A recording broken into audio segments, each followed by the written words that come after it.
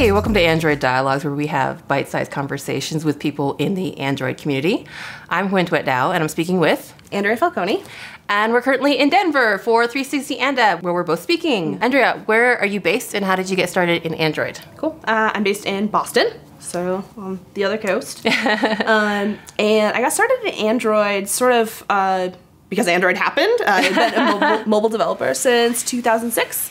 Um, Android wasn't a thing. Uh, Yeah. So I started working in BlackBerry, and uh, iPhone came out, Android came out, and they were like, we need to support more platforms. You're a mobile developer, you know Java, so make some Android stuff. That makes sense. Mobile, Java, Android? Yeah. So Yeah. I got suckered into it, pretty much. Well, we're really glad that you got suckered into it and glad to have you uh, here. Uh, and you actually work for, well, what used to be Crashlytics? Yeah. Uh, but is now Fabric? That's true. Actually, I just saw a tweet that you posted where you just celebrated your, like, Five year crash anniversary. Crash anniversary. Oh, I like that. And you were like employee number seven or something like that yeah. too. I, I know at work we use Crashlytics, and I think every project I've ever worked on, uh, we've used Crashlytics. So Crashlytics and- and now Fabric have been like a big part of I know my development life. So thank you for that. You're welcome. Um, and you've actually gone through a couple of different acquisitions Yep. in in a short Yeah. or long five years. Yeah. So you were first acquired by Yeah, so I, we were Crashlytics. We were a startup on our own in Cambridge. And we were acquired by Twitter um, in 2013. And then we built Fabric. So we built more developer tools around Crashlytics. We built answers. Yeah, we made the platform bigger. Um, and then in January of this year, uh, we, the Fabric team, was acquired from Twitter by Google. Um, and so now we're building Fabric and Fastlane and Yes. Crashlytics. at- Fastlane. Yeah, wearing my swag. Gotta wear my swag. um, but at Google, I think it's pretty amazing too. And, and you pretty much have kept your team, your original team together. That's and I, I think that's really amazing. I think that that sometimes when you hear about acquisition stories, you know, some of them, you know, uh, things get changed up. But I think it's really fabulous that y'all have stayed together as a team. That's pretty amazing. yeah, it's an amazing team. Uh, it's mostly about the people. Like I love what we work on. I love the product, but I also love the people probably more than anything else. So That's awesome. yeah, we're team. Well, so the product that um, I wanted to talk to you about today is again Fastlane. Can you, Andrea, tell us uh, what it is? Sure. So Fastlane is a series of tools that are open source that allow Android and iOS developers to smoothly automate the release of their apps. It's a lot of different things. Uh, the tagline is sort of hard to hard to get into one sentence because it encompasses so many parts of the app release process. But those are the key the key parts: automation, open source, Android and iOS. How do you integrate Fastlane kind of into your like development projects? So on the Android side, um, we've got a couple of different parts that are specific to Android, but overall, Fastlane is a Ruby gem, or, or we have an installer that you can use. Um, and there's all kinds of command line bits and pieces. So you can literally type Fastlane init, and it's going to set itself up. It's going to set you up with the files that you need, um, which are called Fastfiles. They're sort of a, a Ruby DSL, so you can look at it and understand what it's doing, but it can be parsed by the program. Um, and yeah, you, you type Fastlane init, you type screen grab init, you type supply init. You're like, do it for me, please, so I don't have to do the work. Um, So can you script like end to end or like automate end to end? yeah, uh, we have uh, some customers that want to use it for white labeling, so they want to set up new apps on a regular basis, and they automate the automation.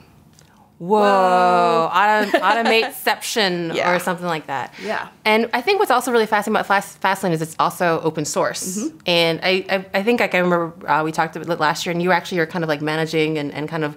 Because I, feel like a lot of us, you know, either want to kind of approach open source or participate and maybe do PR for open source, but you actually are like managing the project Yeah. and kind of overseeing it. How's that been? It's been great. It's something new, totally new for me. I've worked in closed source um, for my entire history, um, and so to you know be part of a community to learn that it's not just me that is responsible for the code. There's hundreds. There, I think there's some like 600 contributors to this project. yeah. There are literally hundreds of people around the world who work on this thing with me. Um, so that's been been crazy. Um, the volume of open PRs and issues is something that like I've had to learn to to wrangle. Um, you know, I don't I don't necessarily want to sit on a huge pile of bugs. Um, that feels bad, but it it's also a huge signal that people are interested. People are using this. Um, and so it's you've got to strike this balance, and for every project, it's it's really different. But where is the sweet spot for like it's okay to have hundred open issues? If it was you know something closed source and you're like i have a hundred bugs you're Right. freaking out Yeah. it's like no there's a hundred opportunities for people to get involved with this project Oh wow, that's that's like thinking about it in a totally different Yeah. way. Like yeah, exactly how you were saying between closed source and open source. So what's the process for? I mean, obviously because it's still kind of a product that Mm-hmm. you know Fabric or Crashlytics and now Google is working on. Um, you know, obviously there's like a like a kind of it seems like there's like a balance between the stuff that you do as a product team and the stuff that you kind of leave open for open source. Like, do you have like a triage process Yeah. or like a like internally, or is it kind of with the community? Like, how's that work? Yeah, it's in conjunction with the community. Um, we have core contributors who are um, external people who have commit access. So the majority of those 600 people are people who submit a PR and we decide yes or no, we merge it. And then there's another group of under 10 external folks who are not employees um, who also have commit access. So they can say that someone else's code is good enough for the project. Oh, cool. And we worked with those, we call them core contributors. We worked with them to come up with a um, agreement about what this product should be or what this tool should be. Um, it should focus on mobile. It should be about, um, you know, de- deploy and build of apps and not stray from that. Um, especially with iOS, you get towards tvOS and Mac OS, and suddenly you're doing desktop development. Right. No. Um, absolutely. And on Android, you know, similar thing. You start going like Android things and IoT, and you're like, is that mobile app development? You know, let's focus on this. And so we've got sort of a, a mantra or a, an agreement that it should be focused on mobile app development. Um, and is it around the app deploy process? And if it's not, if it's something, you know, out of that realm, um, we built a plugin system. Oh, which, cool. Yeah, is really cool. So it lets people contribute without sort of us holding the, the reins. They can build something that everyone else can use. Um, they can get access to it. Um, but maybe it's outside of the, the bounds, but they found a, a place where they think it fits. So they can let other people use it. Oh, you have like the, so you have the best of both worlds. You have your, your core kind of like functionality and your core kind of like vision, I guess, Yeah. that, that you all on the team have. But then you still leave room for people to play around and do cool things. That is awesome. I like that. Best of both worlds. Yeah. Well, that's awesome. So um, if people wanted to either learn more about Fastlane as a product or Fastlane as a open source project, uh, where can they find out about it? Cool. On GitHub, uh, github.com slash fastlane or docs.fastlane.tools. A um, couple of different ways for you to get up and running with the, the project. So honestly, how, how many nights have you spent up late, like looking at like PRs and trying to figure out like, uh, like reviewing PRs? Um, I try not to stay up too late. Uh, a couple of couple of kids try to balance the um, the the work life thing um, because you are working outside of um, you know what might be a day job or working with people around the world, and we have people who are contributing to this outside of their work time too. Um, you know, sometimes at eleven o'clock at night I'll be you know working with with folks, um, but because I have a passion for it.